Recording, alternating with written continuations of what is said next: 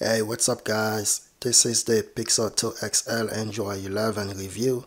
Some of you guys been asking me to make a video about Android 11 on the Pixel 2 XL, so here we go. So far, the Pixel 2 XL is running great on Android 11. Even though this is the last OS update for the Pixel 2 XL, what this means is that you're not gonna get Android 11 next year I meant to say Android 12, you get the idea. You're not gonna get Android 12 next year when that drop for the Pixel 3, Pixel 3a, Pixel 4, Pixel 4 XL, and Pixel 5. So this is your last update for the Pixel 2 XL Android 11. Android 11 been running great on the Pixel 2 XL like I said earlier. There's no lag, there's no hiccups. It's just smooth as butter. No problem at all. I know some people having battery issues on the Pixel 2 XL, but for me, it's basically stay the same as Android 11. I'm meant to say Android 10, so I can't complain. So, the power button change on Android 11 on the Pixel 2 XL, this is what it looks like. You can also use Google Pay. If you add your payment, you can pay things with Google Pay if you wish to do that. On the very top, from the power menu you got your emergency you got your power off and you got your restart. So that's nice. Google make it easy. You got multiple choices. Once you press the power button you got emergency power off restart and you got your google pay right there from the get-go. So that's awesome. Now this is what the volume up and this is what the volume down look like. They basically stay the same. So once you press the volume up or volume down you can mute the phone. You can put the phone on vibrate or you can silence it altogether that's awesome. Also while you on the volume thing you can go straight to the volume settings. It says sound media volume call volume ring notification volume and your alarm volume. You got done and you got more. If I go to more just like so you can see you get more customization for your volume sound. You got vibrate for calls, do not disturb, live captions, your media, shortcut to prevent ringtones. You also got advanced. If I tap on that, you got more options. You know, stuff like that. If I press and hold on the home screen, you got your wallpapers. Now there's no new wallpapers with Android 11 everything been basically the same since Android 9 I believe so. Nothing to worry about. If I go to widgets you guys know what widgets are. Just hold it drag it on your home screen to have the widgets on your phone. Just hold it and drag it like so. And you can see here I got the clock widgets on my Pixel 2 XL home screen right? If I go back go to settings I'm using the Nova launcher. That's why you see the uh, home button in the center. So if you're not using Nova launcher you will get the gestures like when you swap up you go to the app drawer and when you swap down you bring it back. So I'm using Nova launcher. This is why it look like a Pixel 1 or Nexus devices. And of course Google Assistant works great on Pixel 2 XL on Android 11 if I tap and hold on it you can see you bring Google Assistant. So let me go ahead and ask it a couple of questions and uh, we'll see what it looks like. So let me try over make sure my volume is up and uh, let's talk to Google Assistant. What's the weather like in Chicago right now in Chicago Illinois it's 50 degrees and partly cloudy today it'll be partly cloudy with a forecasted high of 54 and a low of 40. Who is Michael Jackson?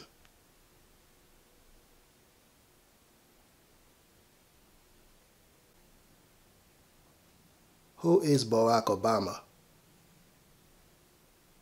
Okay, you don't want to talk, that's fine. Who made you? Okay, Google Assistant, keep playing with me. How old are you? I was launched in 2016, so I'm pretty young. Did you think I was older? Oh, now you want to talk, huh? But as you can see, guys, Google Assistant works really well. Sometimes it does not want to talk. I don't know why. I'm not sure why Google Assistant won't talk sometimes, but for the most part, I can say 97 to 98% of the time, when you ask Google Assistant something, it always talk to you, so that's awesome. So yeah, Google Assistant is still the best around. Bixby sucks, and Siri is okay. Microsoft Cortana is okay. Google Assistant is the best. So if I go to settings, you got your network and internet on the very top. You got a search button where you can search for anything instead of just looking through it. If I go to battery, this is what the battery graphs look like on Android 11 on the Pixel 2 XL. And if I go back, go to display, you got your brightness level, you got your dark theme of course, that's been available since Android 10 I think. You got your adaptive brightness, you got your style and wallpapers, you can customize the wallpapers, that's been available since Android 10, so nothing new there. You got advanced, if I go to advanced, you got colors, you still got natural, boosted, and saturated. You got your lock screen. Let's go back and let's go back if I go to privacy you got your permission manager you got notification on lock screen you can show all the contents when your lock screen is off or you can show nothing at all. So you got the choice. You got advanced. You can personalize your using app data. You can autofill service from Google. What this means is that if you're visiting some websites often Google will gonna go ahead and automatically fill your information like your address, your name, and your phone number. You get the idea. So let's go back. If I go to about device, you can see if I go to Android 11 and boom shakalaka, I am on Android 11 like so. So there you go. So if I swap down like that, you got your Wi-Fi, Bluetooth. You got your do not disturb mode. Got your flashlight, of course. Once I tap on the flashlight, that socket will turn on. You got your rotation lock switch. I got the battery saver. We got mobile data, airplane mode, and your night light. So if I'm playing the music, the uh, screen or graphs will actually show if you're playing music or listening to radio, it will show like a graph or an image once you swap down on the notification panel. So that's cool. You can actually play it or pause it right there from the get-go. You can also customize the uh, settings just the way you wish from the lock screen. You can see the uh, settings icon right there on the right side. If I tap on it, it'll go straight to the settings. That's awesome. And of course, if you got notification on Android 11 on the Pixel 2 XL, this is what they're gonna look like. For instance, the Google Translate I've been using, I can stop it from showing on my notification or I can go to settings just like so and turn that socket off so that's cool. The camera basically stay the same as Android 10 so nothing new. We still got the night sight mode, portrait mode, camera mode, video mode, and we still got more.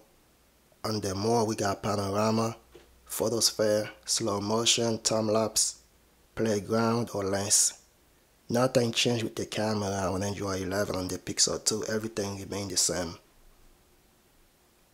So no lag, no issues, no hiccups.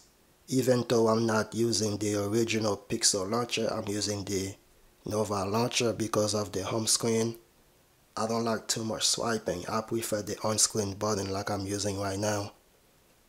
Good battery life, it's smooth as butter, but one thing to keep in mind is that you're not gonna get Android 12 next year. Android 11 is your last update on the Pixel 2 XL, so yeah.